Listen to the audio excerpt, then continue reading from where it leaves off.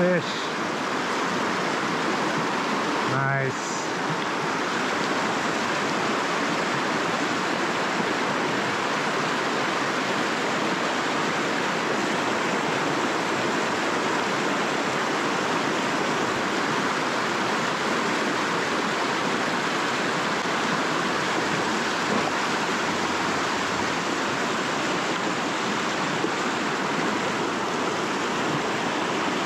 Kind of a tough spot to land fish.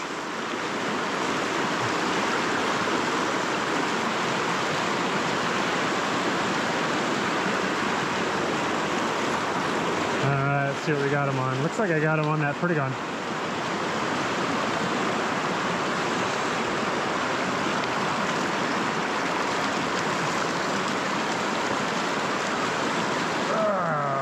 Alright, there we go. Got him in the net.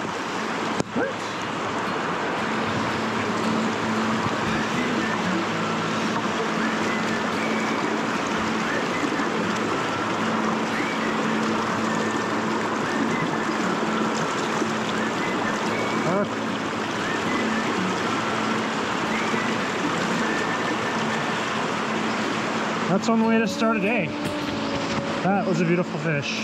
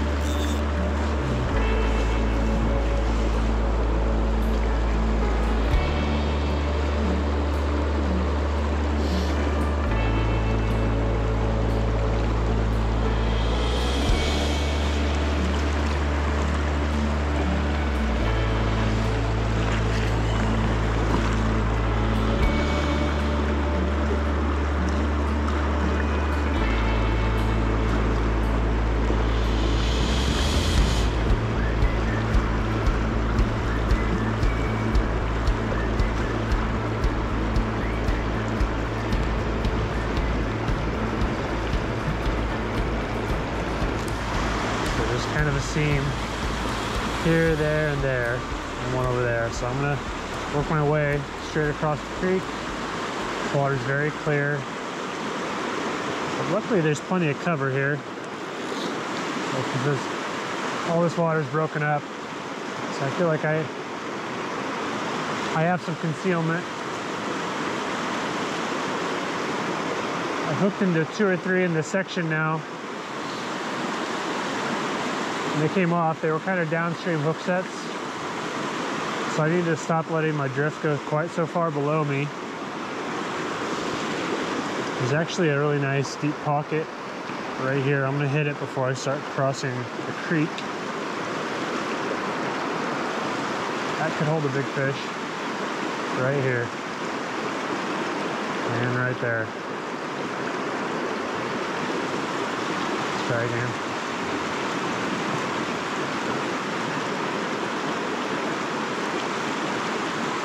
I like to get it up above the, the rapid so it drifts right in like a naturally occurring bug would. There we go, right there. Nope, that was bottom.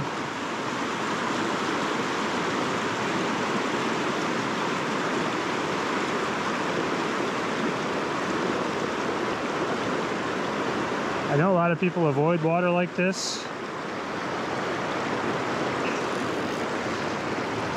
You can, it takes a lot of time to wade in through here. But it can be very productive. I think it's very worth the effort.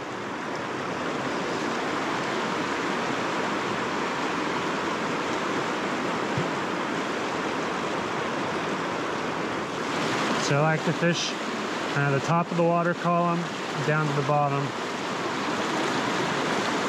So my first drift is usually kind of hot. That's the bottom. There we go. Still got all my flies.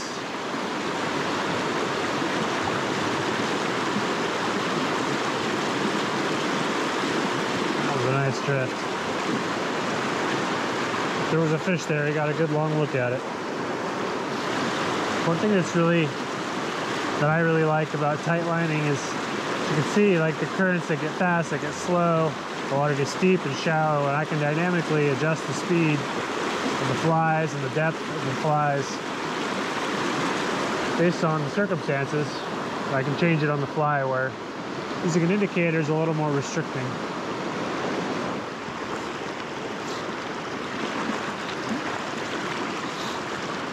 So something I've been thinking about lately, I when I first started tight lining, I went right to 5X tippet, and the first two or three fish I hooked into, I broke off. I lost three rigs back to back. And so I instantly went back to 4X, and I stopped breaking off. But I've since gotten a lot better. So I'm wondering if the heavier 4X is costing me some fish that I might be able to catch now. I'm not sure, so. If I go quite a ways yet and don't catch one, I'm gonna switch to 5X and see if that betters my odds.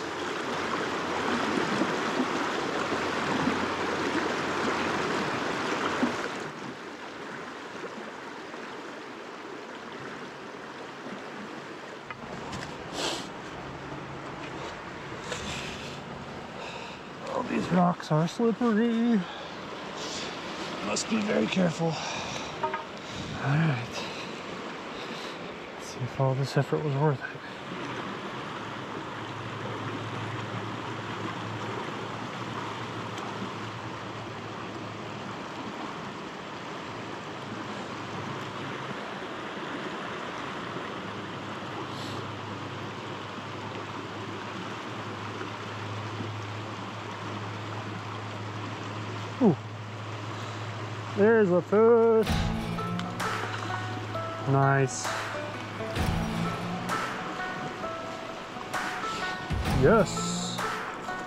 So apparently it was worth it to get over here.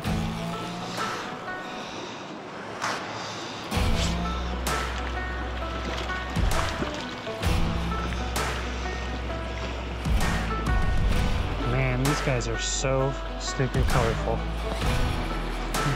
Got this one on the Sexy Walt's Worm. 6 to 6, we got a 12 inch fish. Nice, beautiful, wild rainbow. See you later, my man.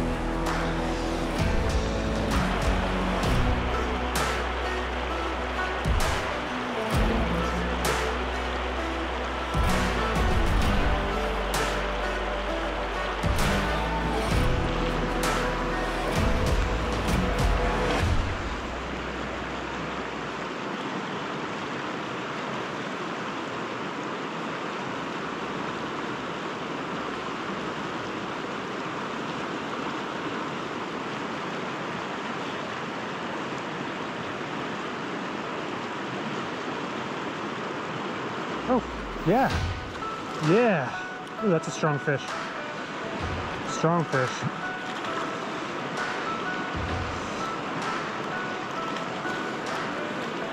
There we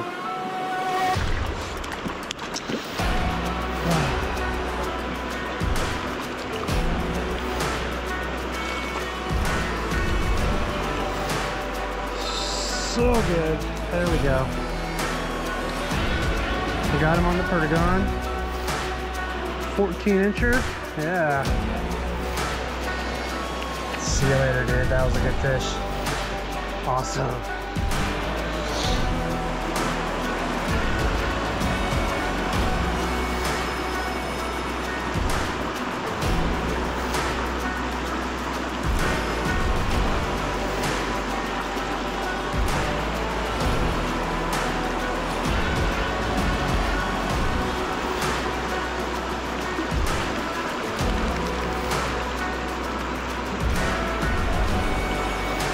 Nice eat. He ate it hard. This guy's vigorous. Yeah, buddy. Love it. Little 12 incher. Thanks for plan.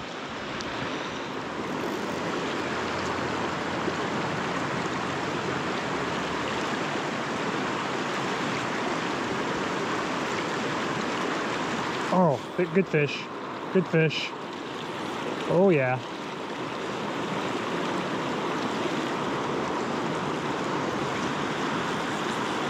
And these guys are vigorous. Oh yeah, this guy's really fat, really colored up.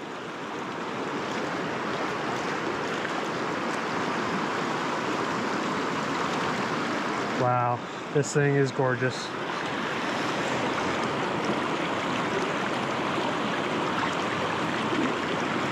Got this one on the Walt's. Definitely the PB of the day right here. Holy cow, he's a fat boy.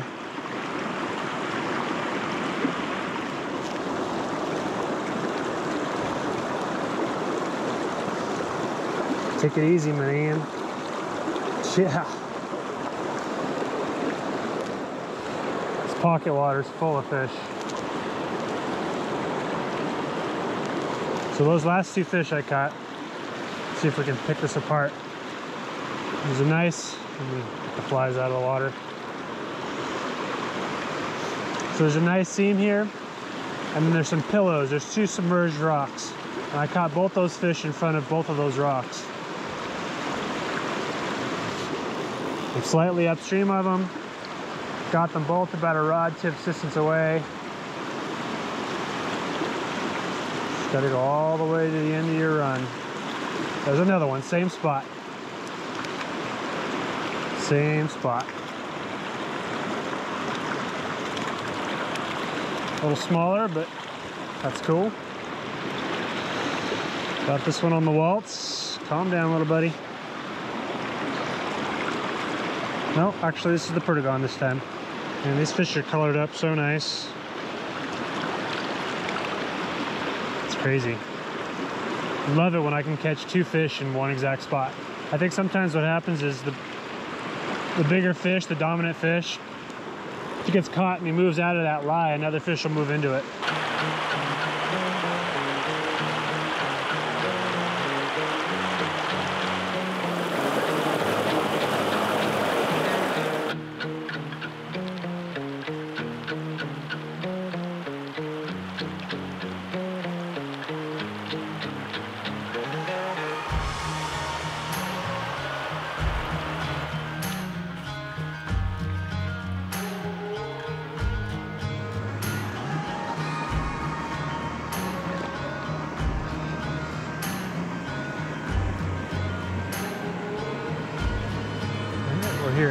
Springs, which is the access point to be able to fish up into Box Canyon.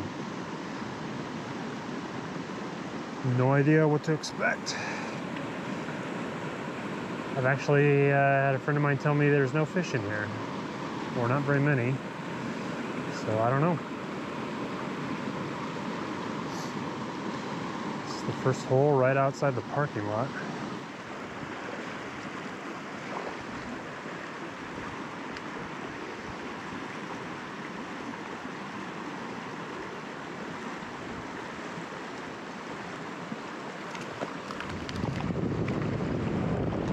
I got my first one. Well, I shouldn't say until I get in that, but got this one on the Perdigon. Beautiful wild 12 inch rainbow trout.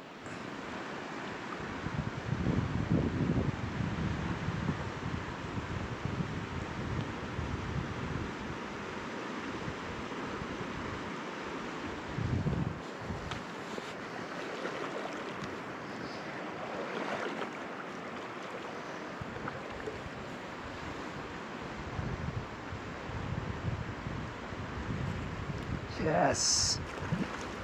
Yes. Oh.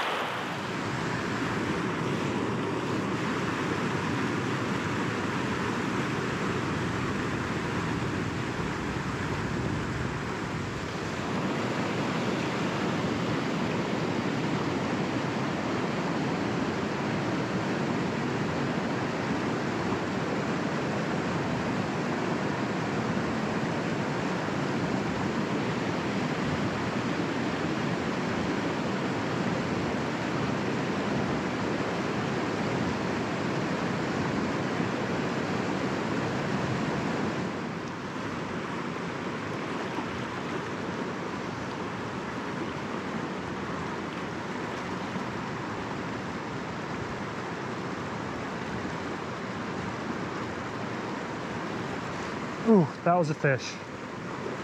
Oh yeah, okay.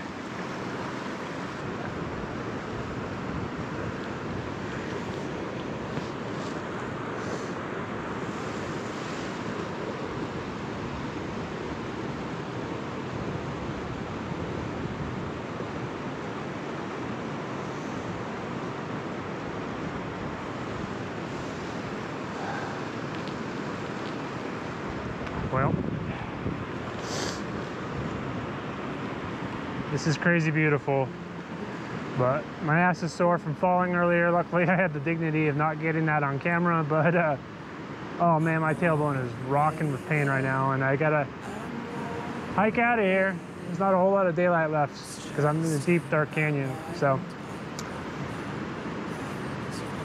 I think I'm gonna head out.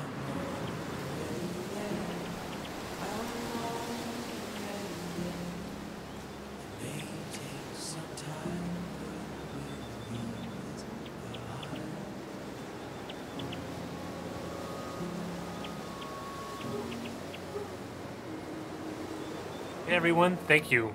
Thank you for watching all the way to the end of this video to this little segment I like to call the recap.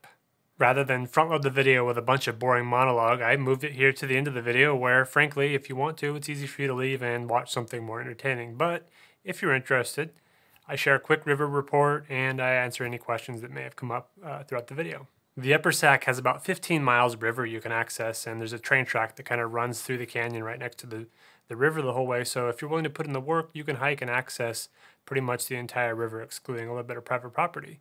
The first half of the day, I started fishing at the Soda Creek access where you have these beautiful views of Castle Crags. You can just look up the river and see the crags there looming over the water the whole time. It's, it's pretty stinking beautiful, but I found most of the water in the section to kind of be uh, a lot of pocket water. There were a few runs that flowed into some bigger pools, but mostly pocket water. For the most part, I was fishing a number 14 Sexy Walt's worm on the point, and for my dropper, I was fishing in size 18 Perdigon. It was kind of a, a copper colored beadhead with a like a red hot spot on it.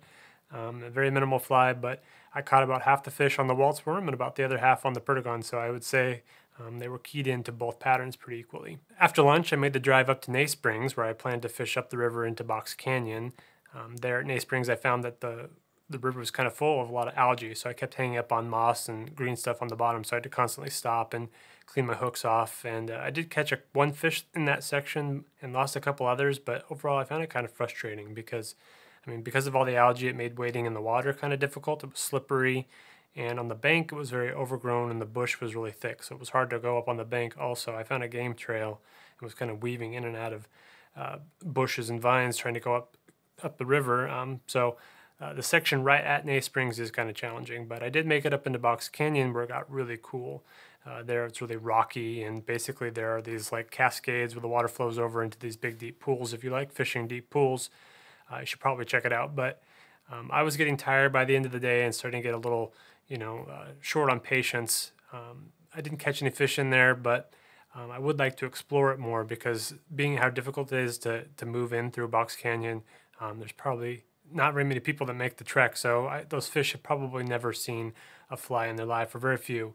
Um, see, like in the spot I got to, I needed to have crossed the river to get upstream further because the, the walls of the canyon were too steep and I couldn't go any further. But I was running out of daylight and patience, so I decided to call it a day and head home. But um, definitely want to go back there when I'm feeling fresh and check it out and, and get get my explorer hat on and go look for some of those fish in that canyon. As always, if you're curious about in the camera gear or fishing gear, please check the description. I've got links to everything I use down there. I tried to keep this recap short because this video is a little longer, so if there's any questions I didn't answer, please be sure to ask it in the questions down below. If you'd like to follow along in real time, please consider checking out my Instagram. There you'll find my, my stories. I post pictures and videos there as they happen rather than waiting for me to post these longer videos. You can see what I'm doing and, and uh, interact with me there. If you enjoyed this adventure, please like the video and consider subscribing to the channel.